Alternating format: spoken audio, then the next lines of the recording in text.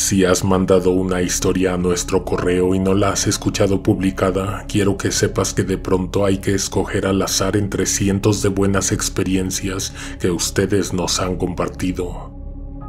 No te desesperes, el próximo o próxima podría ser tú. Prepárate, apaga las luces o cierra los ojos, ponte tus audífonos y que venga la oscuridad. El censo en México se realiza cada 10 años. Si vives aquí a inicios de 2020 seguramente le abriste la puerta a alguno de mis compañeros. Semanas antes de que la pandemia suspendiera el censo, miles de voluntarios salimos a recorrer las localidades del país. Levantaríamos infinidad de datos referentes a las calles, a la cartografía, a la numeración, a la descripción del entorno como primera fase. En la segunda fase tocamos las puertas para encuestar a las familias. Para el día viernes 6 de marzo ya habíamos recorrido demasiadas calles de las colonias a las que mi equipo y yo habíamos sido comisionados.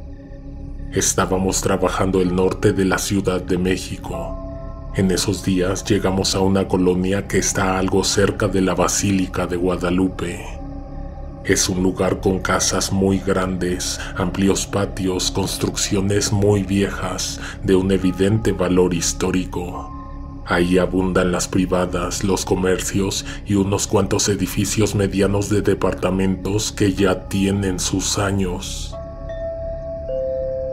Era tarde cuando tocamos el timbre de una casona que era casi el centro de una cerrada, Presioné dos o tres veces el botón porque no se alcanzaba a escuchar que algo sonara al interior de la vivienda.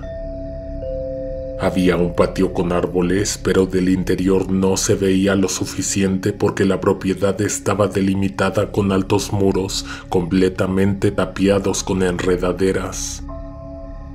Aunque se veía un poco descuidada, no parecía ser una casa deshabitada. Se escucharon voces, alguien gritaba a la lejanía. Tocamos una vez más el timbre. El interfón se encendió luego de esto.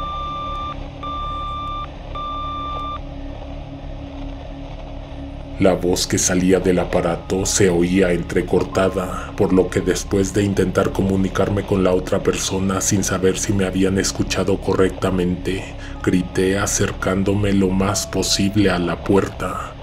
Les dije que éramos los encuestadores. Se hizo silencio en el interfón e inmediatamente se abrieron las puertas. Un mecanismo electrónico tronó cerca del cerrojo y se mantuvo zumbando hasta que cerramos la puerta tras de nosotros. Nos acostumbramos a realizar el cuestionario de pie a la entrada de cada casa que visitábamos.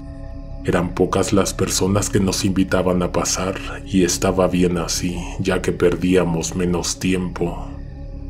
No recuerdo bien si era una tarde nublada o si era más tarde de lo que debería. La cosa es que cuando cruzamos el patio lo hicimos por un camino de piedra que iba entre altos árboles que oscurecían todo.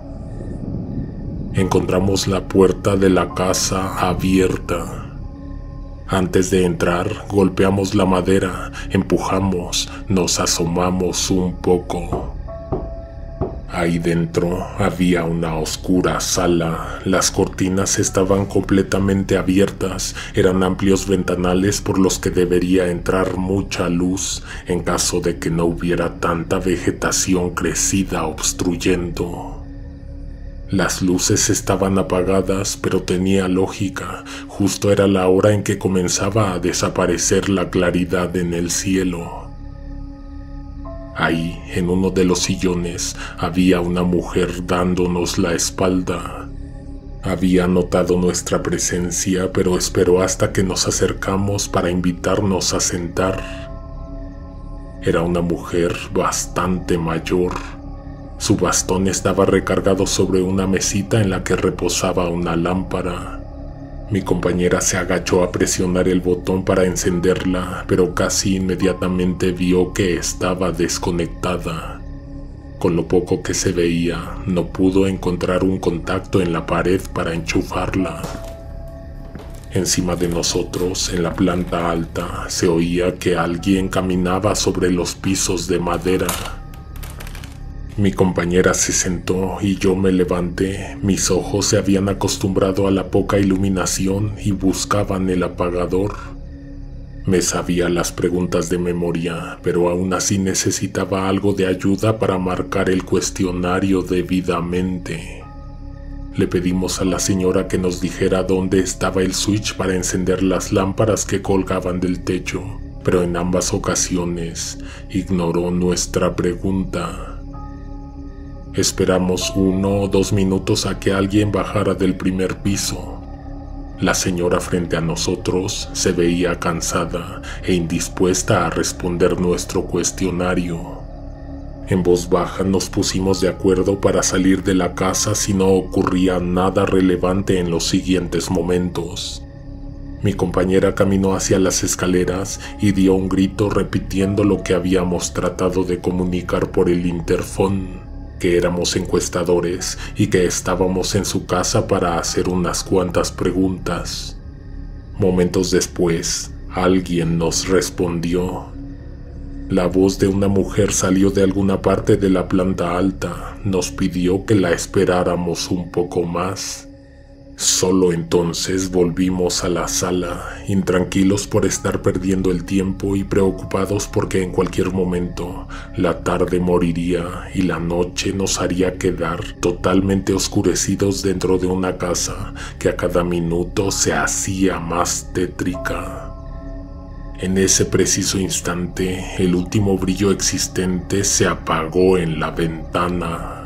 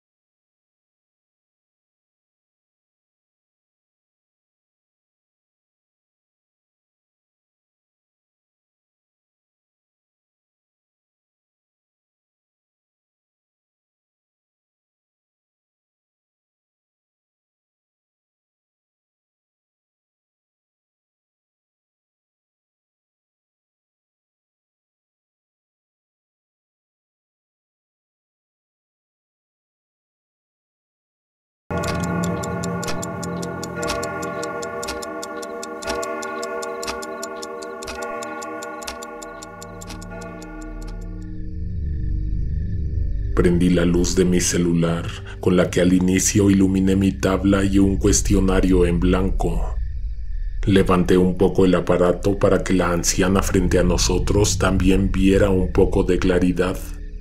Aunque no la apunté directamente con el LED de mi teléfono, la vi incomodarse con la luz, cubrirse los ojos con uno de sus brazos. Apagué la luz por un momento cuando escuché que alguien venía bajando las escaleras.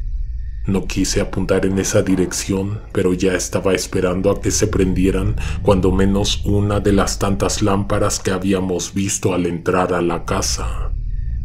Afuera, ni el patio estaba iluminado y del alumbrado de las calles no provenía ni un solo destello o rayo los pasos que bajaban las escaleras de madera se detuvieron en donde yo calculé que faltaban pocos peldaños para el piso de la planta baja.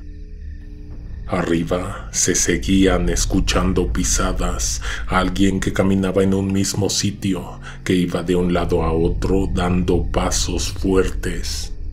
Ese o esa que bajó cambió de dirección, se arrepintió de sus pasos y volvió a subir a la planta alta, pero antes de que le escuchara llegar al final de las escaleras, le pedí que nos encendiera la luz. Solo se prendieron las escaleras, lo cual era suficiente para vernos las caras en la sala, aunque no para hacer notas en la tabla, pero esperaríamos más, solo un poco más. Miré en dirección de donde estaba la anciana, pero no la vi. Ni siquiera estaba el bastón recargado en la mesa.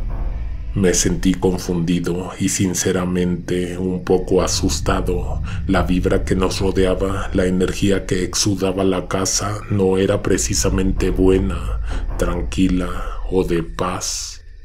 Mi compañera permanecía callada en la oscuridad. Definitivamente vio algo raro, pero no pudo decir nada. No se atrevió. Giré la mirada más hacia la izquierda buscando el rostro de mi compañera. Hasta entonces encontré a la señora. Se había sentado entre nosotros dos. El bastón estaba recargado en una de mis piernas, pero yo no lo sentí sino hasta que me di cuenta de que la anciana estaba a escasos centímetros de mí. En sus manos tenía una almohada pequeña.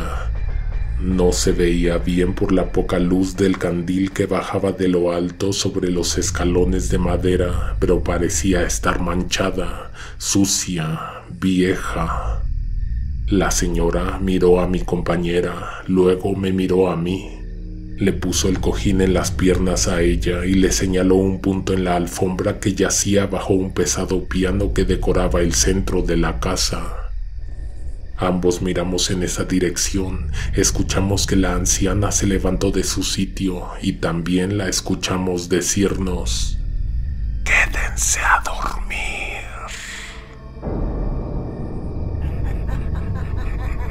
Después de eso se escuchó una risita. La señora tomó el bastón y caminó hacia la ventana, nos dio la espalda, se quedó callada y no se movió más. Mi compañera sintió compasión porque ella misma tiene una tía que sufre de demencia. Es por esto que ella tiene un tacto más delicado hacia con la gente.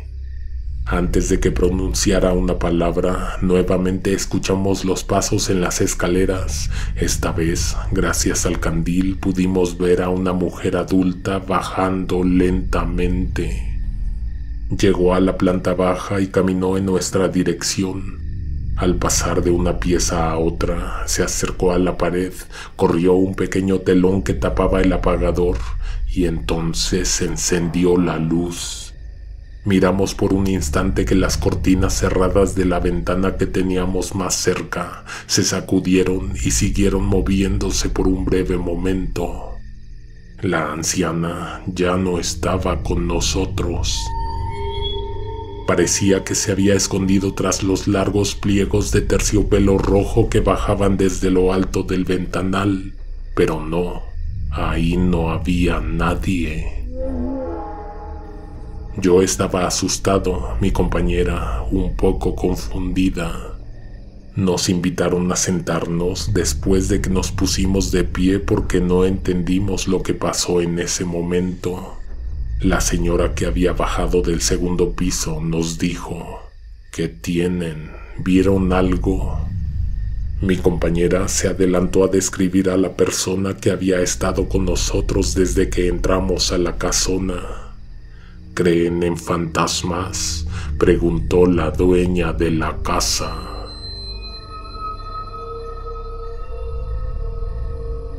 Le dijimos que desapareció ante nuestros ojos.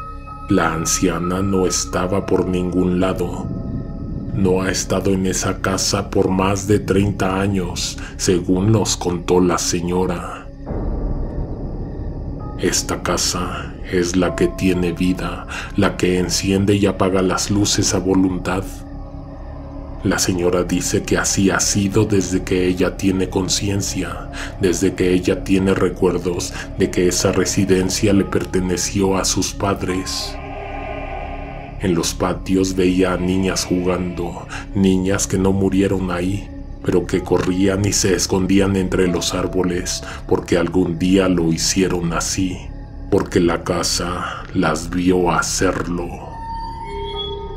Infinidad de cosas ocurren en los pasillos, en las recámaras. Las personas que viven o vivieron ahí se tuvieron que acostumbrar a lo que la casa quería mostrarles.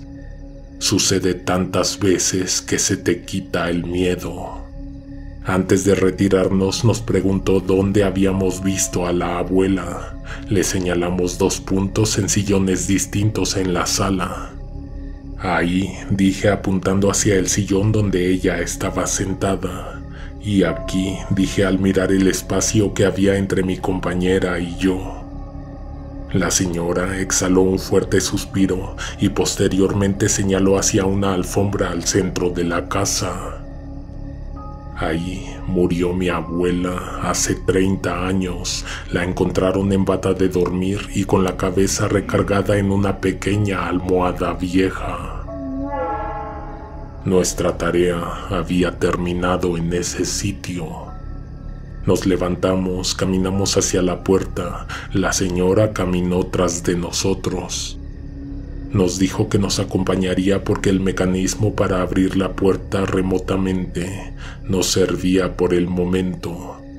Fue entonces que nos dijo que sí había oído cuando tocamos el timbre y cuando gritamos, pero que no abrió ni tenía intenciones de abrir. Estaba ocupada en el segundo piso cuando nos escuchó dentro. No lo pensó y bajó entonces a atendernos, pero no fue ella quien nos abrió. Nos quedamos en la entrada mirándonos a los ojos, pensando en lo que pudo haber pasado. Seguro la misma casa nos abrió las puertas. Como dice la señora, no son los habitantes que han muerto ahí.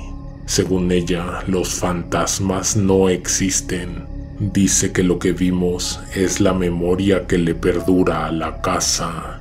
Entonces fue la casa y no la anciana la que nos invitó a quedarnos a dormir.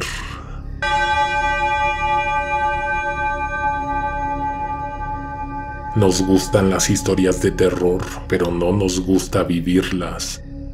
Salimos de la casa y no podíamos dejar de hablar de lo mismo. Estábamos tan asombrados y maravillados como asustados, confundidos y aterrorizados. Antes de despedirnos por ese día, Claudia me dijo al mismo tiempo lo mismo que yo le dije a ella. Cuando menos, ya tenemos una historia de fantasmas para contar. Mandamos un saludo fuerte a Claudia y a Jorge, quienes escucharán ansiosos la transmisión de una historia que mandaron hace unos cuantos meses. También queremos agradecer a todas y a todos los que nos escucharon hasta el final. Si llegaste hasta este punto, coloca un like y déjanos en los comentarios tu opinión. Antes habías escuchado alguna historia parecida nos la quieres contar, te dejo nuestro correo electrónico en la descripción. También te comparto nuestras redes sociales. Nos escuchamos pronto. Alguien te observa en la oscuridad.